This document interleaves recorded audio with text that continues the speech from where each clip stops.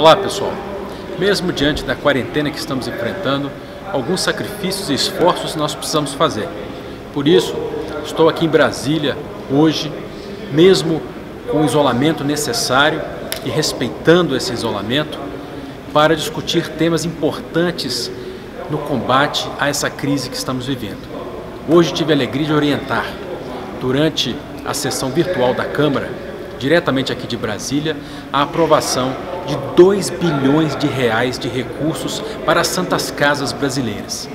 Tema que foi relatado pelo nosso presidente e líder da bancada, deputado Baleia Rossi, com maestria, garantindo não só a aprovação integral do texto, mas também a liberação imediata desses recursos que vão salvar as santas casas, mas mais ainda salvar as vidas das pessoas que estão enfrentando nesse momento a contaminação pelo coronavírus.